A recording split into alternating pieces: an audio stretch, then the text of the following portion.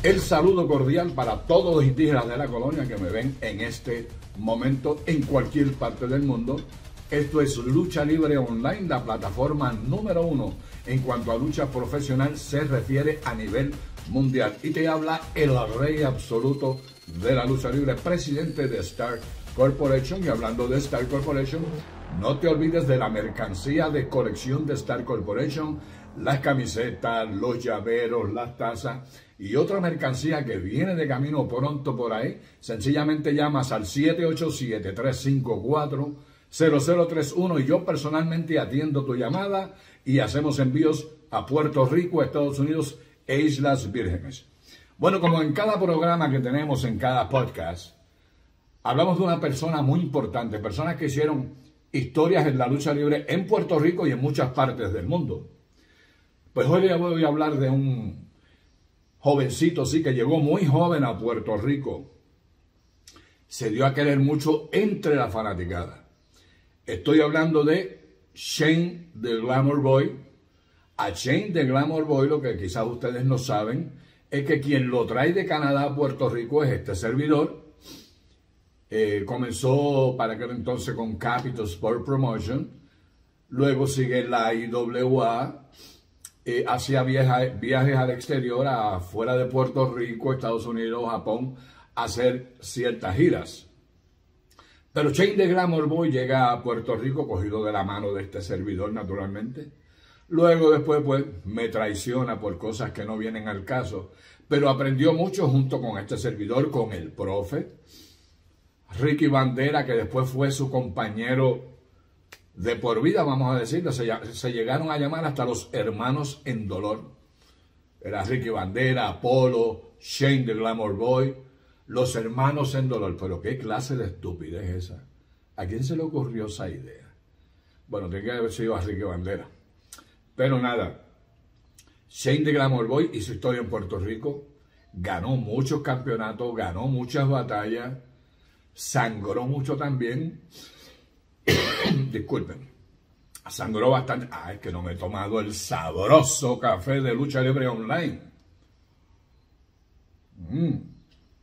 El manjar de los dioses, naturalmente, te lo puedes tomar, mira, en la fabulosa taza de Star Corporation en diferentes eh, modelos, la cual tú puedes obtener. Pero volviendo a Chain de Glamour Boy, el canadiense que llega a Puerto Rico, implanta un nombre, se gana el amor, el cariño de todos los íbaros de Puerto Rico, de toda la fanaticada, de todos los hipócritas, que siempre lo seguían. Pero Shane de Glamour Boy siempre le demostraba a toda la fanaticada que él era bueno de verdad. Y sí lo era. Digo, lo sigue siendo todavía, porque Shane de Glamour Boy actualmente pues, vive en la Florida. Eh, para los que no lo sabían, la Florida, esa área, ese es el municipio número 79 de Puerto Rico. Y debe estar contento allá porque hay muchos boricuas. Y tiene una gran empresa, es un gran empresario, le va muy bien. Pero volviendo a su época de luchador profesional, hizo mucho en Puerto Rico, como dije, se dio a querer por toda la fanaticada. A él lo quería todo el mundo, era un muchacho muy bueno, muy amable, muy servicial, le encantaba estar con el público, retratarse, dialogar con el público, lo que a muchos le falta, que dicen que son estrellas y hasta dicen que son leyendas, pero le falta un montón por aprender. Y de este muchachito pueden aprender. Naturalmente, de quien más pueden aprender es del rey absoluto de la lucha libre, eso es indiscutible, eso ni se pone a prueba. Pero Shane de Glamour Boy hizo unas campañas extraordinarias en Puerto Rico, tanto en el Consejo Mundial de Lucha o Capitol, como se llame, en la IWA también y en otras empresas independientes que luchó en Puerto Rico, dando a demostrar su, su valentía de qué estaba hecho, todo lo que podía dar. Y ese era Shane de Glamour Boy. Un muchacho muy respetuoso, seguía instrucciones y llegó a la cima aquí en Puerto Rico. No solamente en Puerto Rico, fuera de Puerto Rico también hizo un nombre.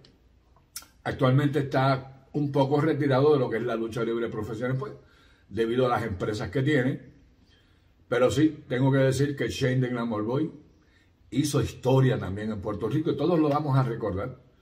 Y se cataloga también como una leyenda de la lucha libre aquí en Puerto Rico porque hizo el trabajo que tenía que hacer. Esa es la breve historia de Shane de Glamour Boy. Y yo seguiré haciendo historias a todos ustedes aquí de luchadores que pasaron por Puerto Rico, de todas las partes del mundo, lo que hicieron, lo que pasó en Puerto Rico, cómo fue su estadía, cuáles fueron sus luchas más violentas aquí en Puerto Rico, tanto en Consejo Mundial de Lucha como en la IWA, como en empresas independientes. Así que dicho todo esto, me voy a dar otro sorbo de café de Lucha Libre Online y recordándole al presidente de Lucha Libre Online, Javier, se me está acabando el café. El mejor café que puedo tomar desde las montañas de Puerto Rico, hecho por manos puertorriqueñas, torrefactores de café.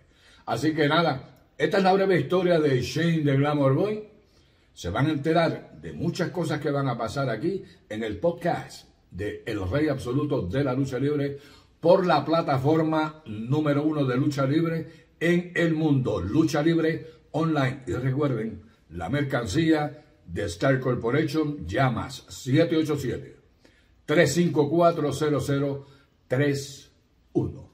Y te lo dice el Rey Absoluto de la Lucha Libre. Recuerden, soy, fui y seguiré siendo el mejor de todos los tiempos. Y recuerden que de mi manga sale cualquier cosa.